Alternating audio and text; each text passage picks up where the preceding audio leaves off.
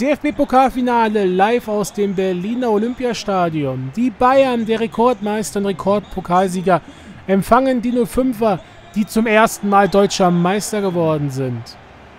Und wir werfen auch gleich einen Blick auf die bisherigen Runden.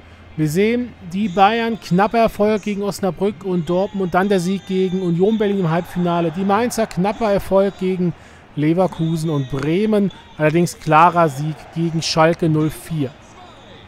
Die Mainzer sind trotzdem der Außenseiter, auch wenn sie Meister geworden sind. Die Bayern sind einfach immer für ein Tor und für einen Erfolg gut. Das wissen auch die Jungs, die hier auf dem Platz stehen. Und wir machen einen Blick auf die Aufstellung der Bayern.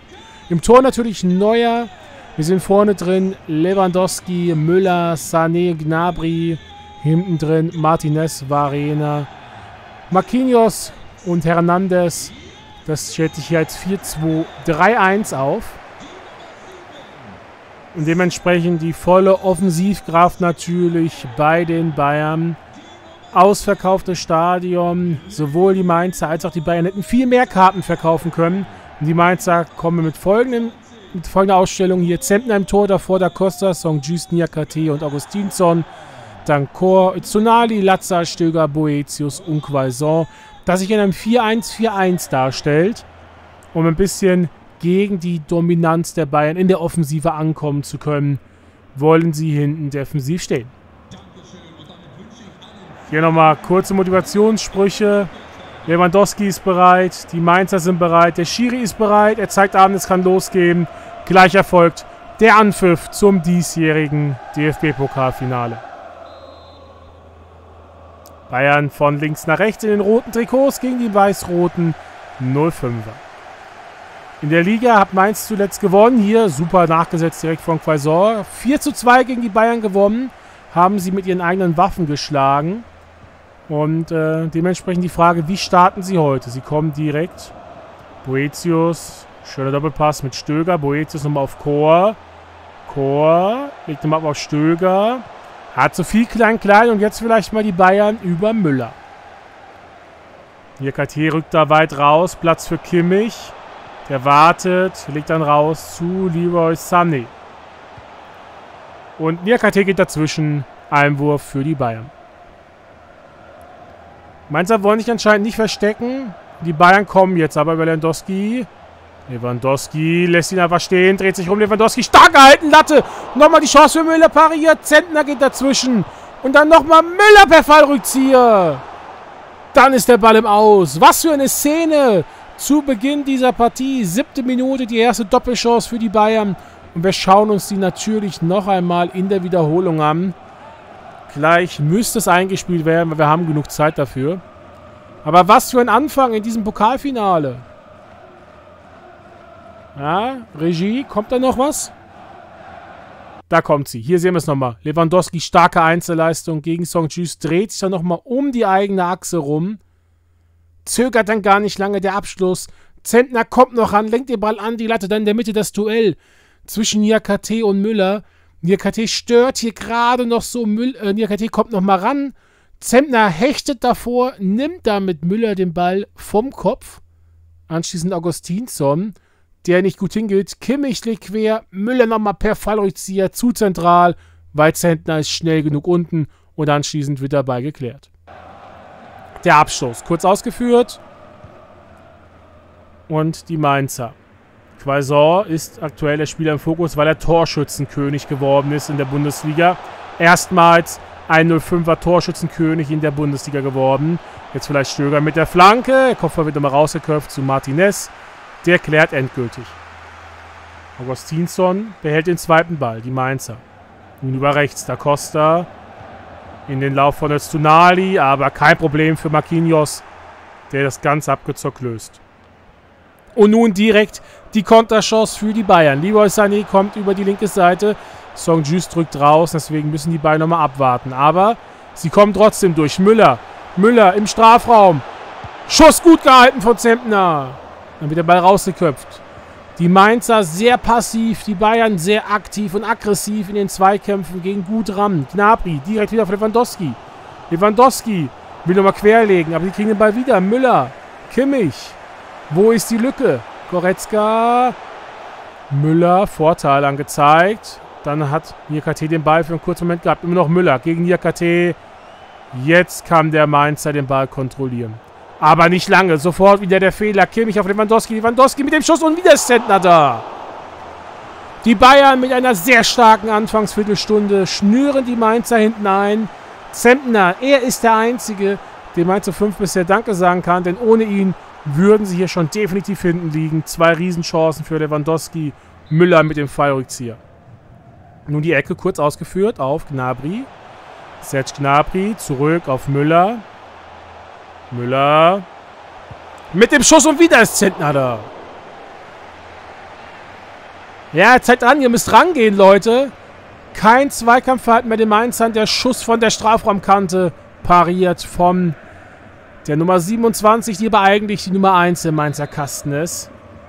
Wird interessant in der nächsten Saison, wenn Florian Müller zurückkommt aus der Leihe von Freiburg, wer da denn der Favorit sein wird. Die Bayern. Wieder bei Gnabry. Immer noch Gnabry. Legt ab, Kimmich. Will durchstecken und da Costa hat den Ball. Song Juice ist es dann, der klären kann. Aber wieder sehr unsauber. Stark gemacht von Hernandez. Die Bayern kommen direkt wieder. Kimmich. Schön auf Lewandowski. Legt er quer. Nein, er macht selbst. Abgeblockt von Niakate an der Stelle. Und jetzt vielleicht mal ein bisschen Ruhe für die Mainzer. Latza. Zur Tsunali, aber der Konter wird abgepfiffen. Abseits. Richtig gesehen, Familienrichter. Das sehen wir hier nochmal. Die Mainzer wollen kontern. Haben sie in der Liga bereits gezeigt, das können sie auch. Aber da muss man eben die Pässe auch an den Mann bringen. Und sie dürfen hinten nicht so passiv stehen. Das können die Bayern jederzeit bestrafen. Müller. Kimmich. Kimmich. Gut gemacht von Song Tschüst. Mal ein gewonnener Zweikampf für die Mainz am eigenen Strafraum. Jetzt die Konterchance. Song Tschüst sieht jetzt Tunali, der mit Tempo vorgeht. In der Mitte lauert Chor. Chor kommt aber nicht ran. Die Flanke viel zu nah ans Tor und kein Problem für Manuel Neuer, der erstmals eingreifen darf nach 23 Minuten. Wir haben bereits gesagt, in der Liga Mainz erfolgreich gewesen, zuletzt gegen die Bayern. Als es für beide Teams, also für Mainz um nichts mehr ging, für Bayern ging es ja um die Champions League-Qualifikation, um den Vizemeistertitel. Im letzten Jahr im Pokal die Mainzer früh ausgeschieden. Die Bayern haben ihn geholt, sind also Titelverteidiger im DFB-Pokal. Hier sehen wir ein bisschen früheres Pressing von den Mainzern jetzt. Und sie bleiben im Ballbesitz. Quaison. Rechts zu Tunali. Der hat ein bisschen Platz. Bringt die Flanke scharf rein. Aber wieder viel zu nah ans Tor. Kein Problem für den mehrfachen Welttorhüter Manuel Neuer. Aber der Abschlag ist schlecht. Die Mainzer kommen sofort wieder. Der letzte Pass kommt aber nicht an. Diesmal war es Stöger, der zu unsauber gespielt hat. Doch das Pressing stimmt wieder. Song Tschüss drückt früh raus. Quaisor schön quergelegt auf Boetius. Boetius, Boetius mit der Chance. Gut gehalten von Neuer. Erstmals muss er sich auszeichnen. Halbe Stunde gespielt. Jean-Paul Boetius schön in Szene gesetzt worden und dann viel zu zentral überhastet. Neuer feiert sich zurecht. Er stammt richtig. Und das war die erste Möglichkeit für die Mainzer. Anschließend der Ecke wird reingebracht vom Kapitän Danny Latzer. Macht sich bereit. Mit dem Ball wohl Richtung Tor ziehen mit rechts.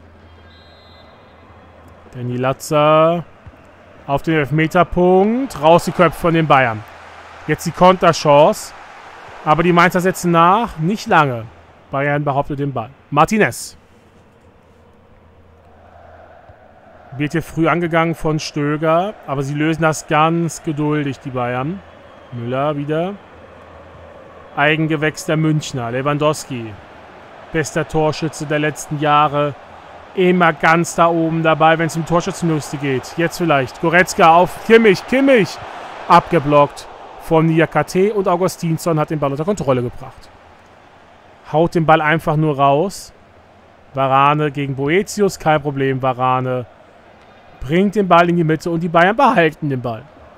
Die letzten 10 Minuten in der ersten Hälfte laufen bereits. Knabri Martinez zu Goretzka. In den letzten Minuten hat das Spiel sich ein bisschen beruhigt. Mainz hatte zwar eine Chance vor knapp sieben Minuten, aber die Bayern nehmen ein bisschen das Tempo raus. Jetzt vielleicht. Die Mainzer stehen nun auch hinten deutlich stabiler. Hier Katego dazwischen. Boetius holt sich den Ball hinten. am eigenen Strafraum. Zentner. Rechts raus. Ins Nichts. Das ist symptomatisch bisher für die Mainzer im Aufbauspiel. Viel Zeit gehabt, der Robin Zentner. Und der Costa war auch völlig frei und trotzdem wird der Ball hergeschenkt. Aber hier gutes Pressing von Latza. Bringt ihm nichts, der Ball bleibt bei Sané. Leroy Sané. Lässt Latza einfach stehen, Sané. Aber dann ist da doch noch... Wer war es? Ich glaube, Song Juice ist dazwischen gegangen. Jetzt vielleicht der Konter über Latza. Danny Latza zu Chor. Schöner Seitenwechsel auf Schoppo Boetius. Der ist durch. Kein Abseits. Boetius. Was macht er? Er wartet. Er wartet immer noch. Jetzt kommt der Schuss. Und das war's Aluminium. Beste Chance für die Mainzer. Wieder Boetius. Hier sehen wir es nochmal der Schuss. Strammes Ding an den Außenpfosten. Jetzt kann Grian von Noob sich ärgern, dass sie die Chance nicht genutzt haben. Aber jetzt halt haben, ihr müsst weiter pressen. Am Anfang waren die Mainzer zu passiv. Jetzt kommen sie rein und jetzt schalten sie auch gut um. Da hatten die Bayern ein bisschen Glück, dass der Pfosten rettet. Aber insgesamt trotzdem die Bayern das bessere Team. Kurz vor der Pause. Kommen die Mainzer nochmal. Stöger schenkt den Ball einfach her. Die Bayern damit nur mit der Möglichkeit. Goretzka. Gnabry kriegt den Ball. Sie behalten den Ball an der rechten Seite. Gleich wird angezeigt, wie viel Nachspielzeit es gibt. Eine Minute. Jetzt zu Nali, zu Chor. Der schenkt den Ball wieder her. Gibt es noch eine Möglichkeit? Kommen die Bayern nochmal. Hernandez auf Kimmich. Hernandez, wir sind bereits über. Schöner Ball auf Sané. Der bringt ihn rein, rausgeköpft. Und es gibt nochmal eine Ecke. Wir sind bereits zwei Minuten drüber. Von Lewandowski nicht viel zu sehen, das sehen wir hier. Nur zehn Ballkontakte, drei Schüsse aufs Tor. Hat aber auch Pech, weil immer wieder Zentner da stand. Letzte Aktion der ersten Hälfte wäre wahrscheinlich Sané mit der Ecke. Leroy Sané. Hoch rein, Stöger. Klärt nicht richtig. Nochmal ein Schuss. Aber vorbei. 0 zu 0 zur Pause. Die Mainzer können glücklich sein. Die Bayern hätten früh führen müssen. Früh 2 zu 0 führen müssen. Anschließend die Mainzer mit zwei guten Möglichkeiten durch Jean-Paul Boetius. Einmal pariert Neuer, einmal rettet der Pfosten. Dementsprechend torlos geht es in die, 45, in die zweiten 45 Minuten. Und da sind sie schon. Weiter geht's. Die Mainzer haben umgestellt. Hinten jetzt mit einer Fünferkette. Chor rückt in die Innenverteidiger rein, die Zentrale. Meinte also in einem 5-2-3-System. Sie wollen die Flügel ein bisschen aufbauen. Jetzt vielleicht, jetzt Tsunali bringt den Ball rein und gerade noch geklärt. Dieses 5-2-3 ist es auch, was sie genutzt haben beim Ligaspiel um die Außen eben zu doppeln. Hier nochmal die beste Mainzer Chance. Der Pfostenknaller von Jean-Paul Boetius. Die Ecke. Danny Latzer. Bringt ihn rein. Neuer faustet raus. Quaison. Legt nochmal zurück auf Latzer. Der chippt den Ball in die Mitte. Neuer mit der Faust. Und die Bayern haben das Leder. Ja, Vorteil. Weil die beiden im Ballbesitz bleiben. Schöner Ball links raus auf Fernandes. Der kann das Spiel schnell machen. Kimmich. Wunderbar in den Lauf von Leroy Sané. Kein Abseits.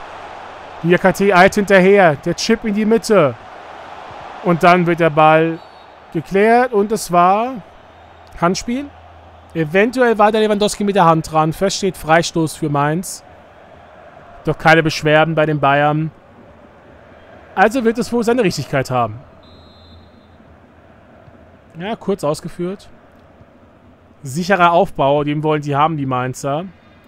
Das versuchen jetzt auch mit den fünften Mann in der Defensive. Latzer. Schön rechts raus auf Danny da Costa. Er wartet. Wieder auf Latzer, aber viel zu unsauber gespielt. Gut gemacht von Kimmich. Mainzer Pressing. Gut, schön gelöst von Hernandez. Und jetzt damit ein bisschen Platz für die Bayern. Gnabry.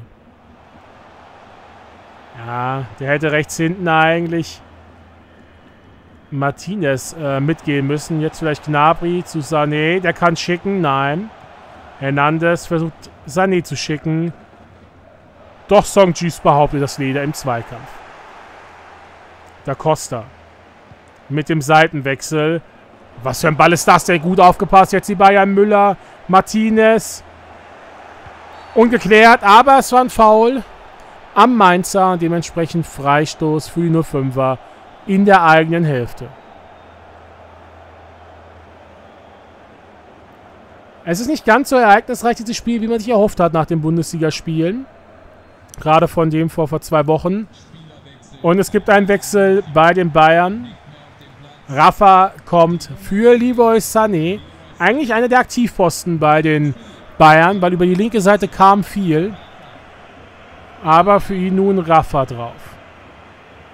Erster Wechsel also der Partie auf Seiten der Münchner. Niakate. Augustinsson.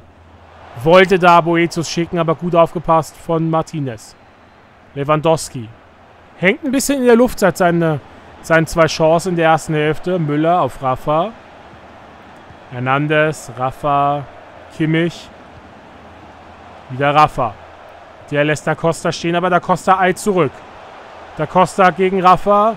Hernandez hilft mit. Kimmich ist im Strafraum. Mit nochmal zurück. Goretzka. Freischussball. Nein, Lewandowski. Der Schuss abgeblockt. Und jetzt die Konterchance für die Mainzer. Stöger.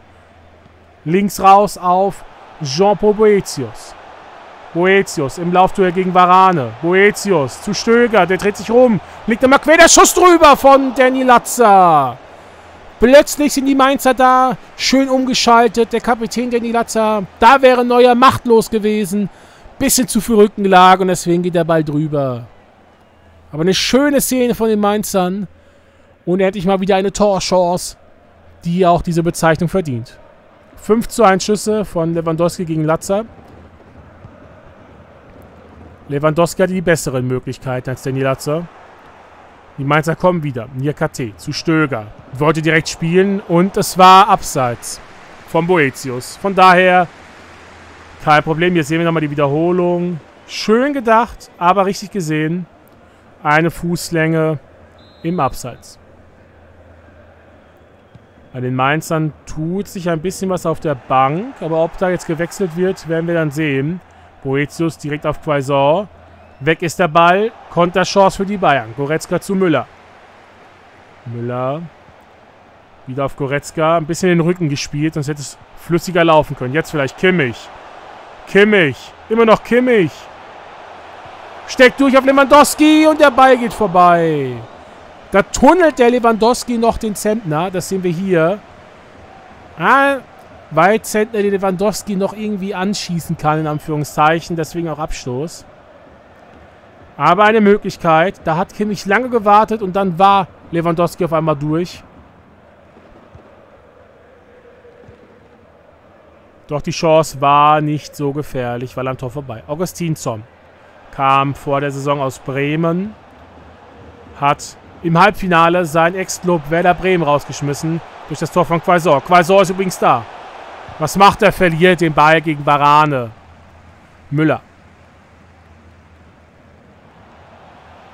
Thomas Müller zu Gnabry, der bei seiner Laie in Hoffmann aufgeblüht ist. Und es gibt Einwurf für die Mainzer. Jetzt Wechsel. Kunde und Fernandes kommen für Chor und Stöger. Damit positionsgetreuer Wechsel. Kunde übernimmt den Part in der Innenverteidigung. Und damit also nun weiter in das 5-2-3. Es bringt ein bisschen mehr Sicherheit bisher. Aber die Chancen sind trotzdem noch relativ arm, was die Mainzer Seite angeht. Nur der Schuss von Latzer vor gut 10 Minuten. Jetzt vielleicht Da Costa. Schön den Lauf gespielt von David Tsunali. Kein Abseits. Tsunali ist durch. Drei Mainzer in der Mitte. Tsunali, was macht er? Schenkt den Ball. Er bringt da nochmal den Ball rein. Der Schuss aus dem Nichts. Gut gehalten von Neuer. Und die Mainzer setzen nach. Doch dann Abseits von Levenitz Tsunali. Sehen wir hier nochmal beim Kopfball. Ja, da ist er im Abseits richtig gesehen. Davor die Aktion, der Schuss aus spitzen Winkel. Kam überraschend, aber war halt auch sch nicht schwer zu halten. Viertelstunde noch zu spielen. Wer kann hier noch einen Lucky Punch setzen? Oder geht es vielleicht in die Verlängerung? Müller. Thomas Müller auf Lewandowski. Lewandowski ist im Strafraum abgeblockt und dann der Nachschuss, kein Problem. Für Zentner unter war es noch ein Handspiel. Lewandowski hat sich den Ball mit der Hand zurechtgelegt. Aber sie kommen hier trotzdem viel zu häufig, viel zu frei im Strafraum an den Ball. Die Bayern wechseln nochmal. Pavard kommt nun für Martinez. Damit jetzt hinten rechts positionsgetreuer Wechsel und ein echter Rechtsverteidiger auf dem Platz. Martinez ist ja eher der sechster Innenverteidiger-Typ. Oder in einer Dreierkette. Und jetzt Pavard eben auf dem Platz. Barane. Zurück auf Makinos. Dann Foul, aber Vorteil, weil die beiden im Ballbesitz bleiben. Kimmich. Goretzka. Der Kimmich zu Lewandowski. Auf Pavard gerade eingewechselt. Aber Niakate stellt ihn. Müller zu Gnabry. Der ist an Augustinsson vorbei. Immer noch Gnabry. Gnabry, Augustinsson kann sich dann durchsetzen. Und jetzt der Konterversuch. Kommt Boetius ran? Nein, aufgepasst von Varane. Da rückt der Innenverteidiger früh raus und fängt den Ball ab. Pavard auf Müller. Ja, nochmal Kimmich. Viel am Ball, genauso wie Goretzka. Aber die Bayern wissen auch nichts mit dem Ballbesitz anzufangen. Marquinhos zu Hernandez. Die Mainzer stehen hinten nun relativ sicher mit der Fünferkette. Und jetzt kommen sie wieder an den Ball. Da Costa. Muss schicken. Macht er auch. Schöne Lauf von zu nahe. In der Mitte wieder drei Mainzer. Drei gegen zwei. Die Flanke kommt auf den zweiten Pfosten. Boetius kommt ran. Glückliche Aktion, dass Boetius überhaupt zur Chance kommt. Das sehen wir hier nochmal. Und dann kommt er noch ran und Neuer mit der Hacke kann er den Ball zur Ecke klären. Das hätte die Führung und vielleicht hat der Siegtreffer sein können, fünf Minuten vor dem Ende. Die anschließende Ecke. Danny Latzer. Aber nochmal ein Wechsel bei den Bayern. Tulisso kommt für Müller. Thomas Müller geht runter. Er war viel unterwegs. Einer der Aktivposten, vielleicht auch müde. Und nun auf jeden Fall Tulisso. Latza mit der Flanke. Der Kopfball nochmal, aber kein Problem für Neuer gegen Songchist. Manuel Neuer. Bayern damit jetzt ihren dritten Wechsel vollzogen.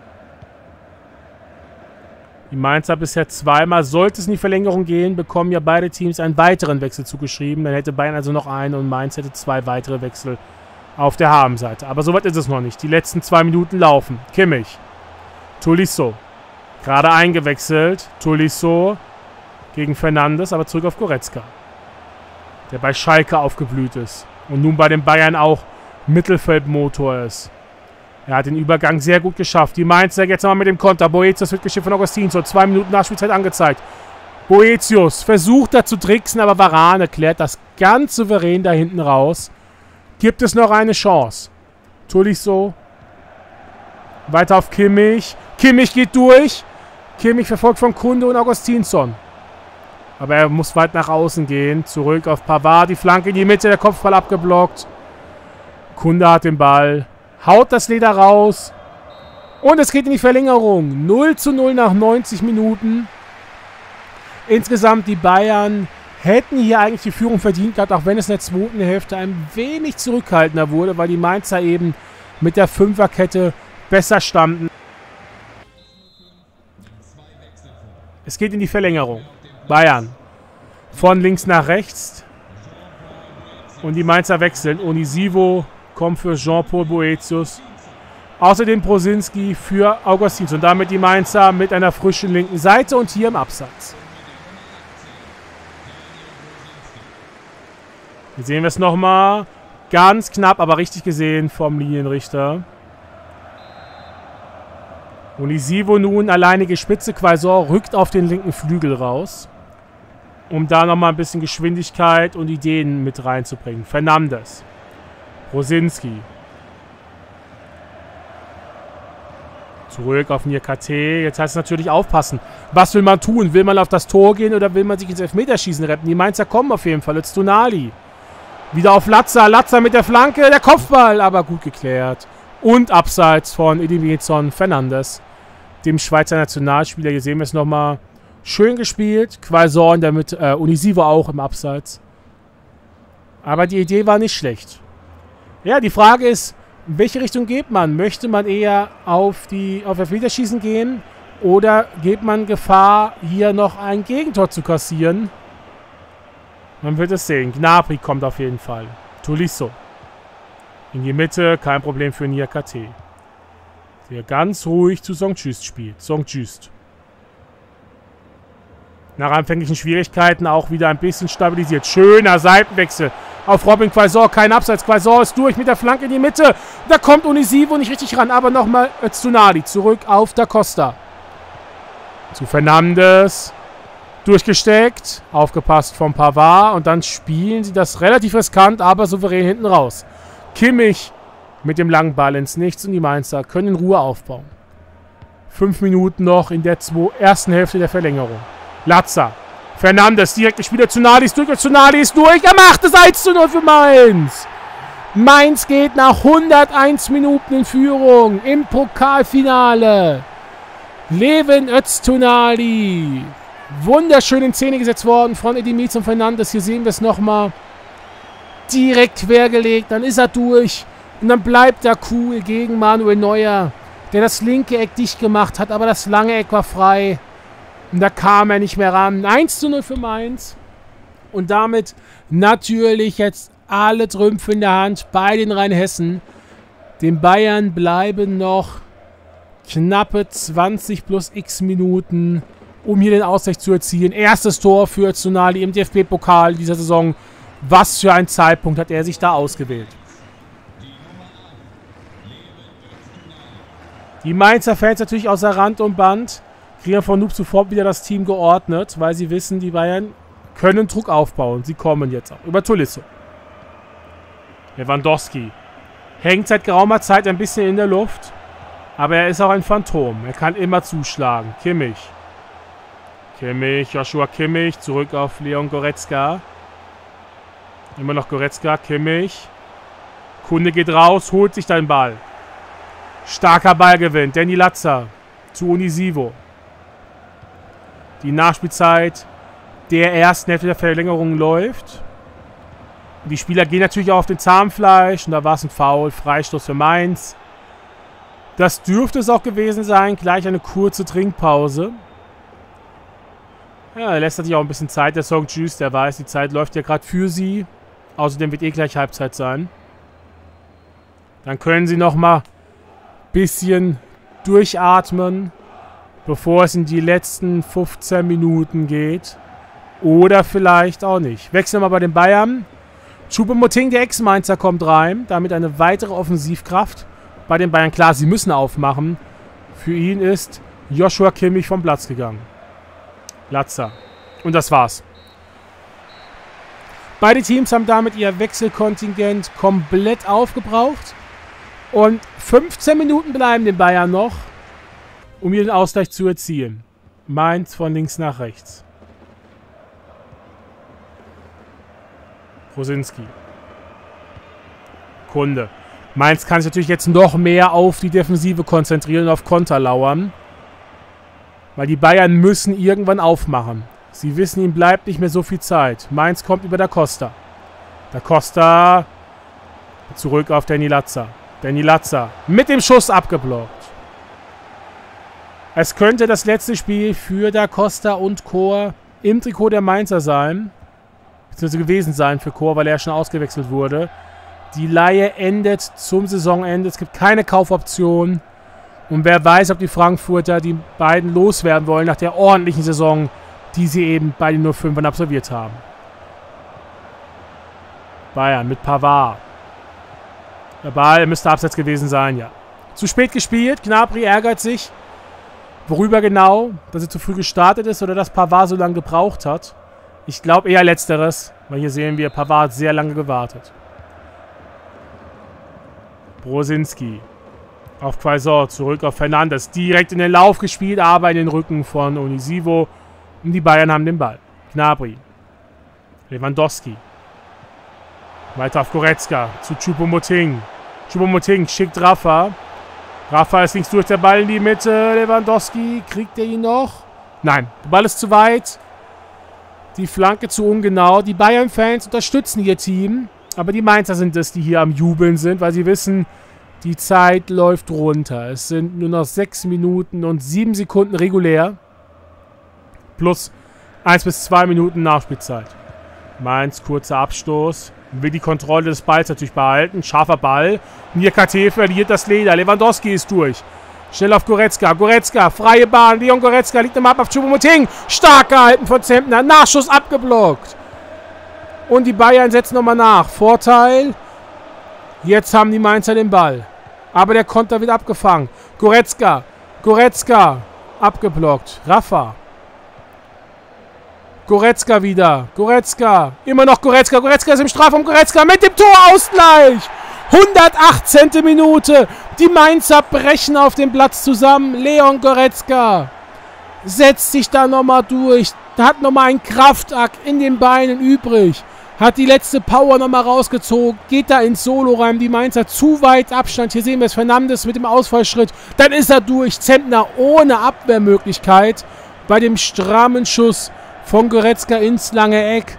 Das ist das Aus Ausgleichstreffer. Und er ist verdient. Die Bayern waren insgesamt besser. Von Noob ärgert sich natürlich. A, der Zeitpunkt, 118. Minute. Und B, natürlich auch, dass die Defensive da so schläft. Davor schon die Riesenmöglichkeit gut gehalten von Zentner. Und dann eben der Schuss abgeblockt worden. Die Bayern gleichen aus. Und es gibt noch eine Minute. Wie lange Nachspielzeit wird es geben? Ich würde mit 1, 2 Minuten rechnen. Gibt es noch einen Lucky Punch? Kann hier noch jemand das Ruder auf seine Seite ziehen? Eine Minute Nachspielzeit wird angezeigt. Onisivo. Zu Öztunali. Öztunali. Auf der Costa. Die Flanke zurück. Kunde. Verliert den Ball Lewandowski auf Gnabry. Tolisso. Das war's. Es geht ins Elfmeterschießen. Bayern München gegen Mainz 05 über die volle Distanz im Pokalfinale. Die Mainzer werden sich ärgern. Hier sehen wir nochmal beide Teams treffen sich nun. Motivierende Worte der Trainer. Und die Frage ist, wer wird als Schütze auflaufen? Es gibt bei beiden Teams so ein paar sichere Kandidaten. Lewandowski zum Beispiel, Prosinski. Und wir fangen an mit Lewandowski gegen Zentner. Lewandowski, ganz cool, bringt die Bayern in Führung. Die Mainzer mit Prosinski. Prosinski.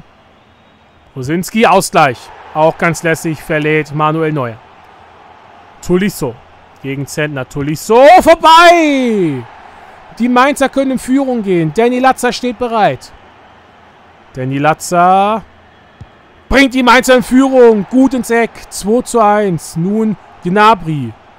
Gnabry. Zentner hat ihn! Mainz kann eine Vorentscheidung erzielen. Robin Quaison.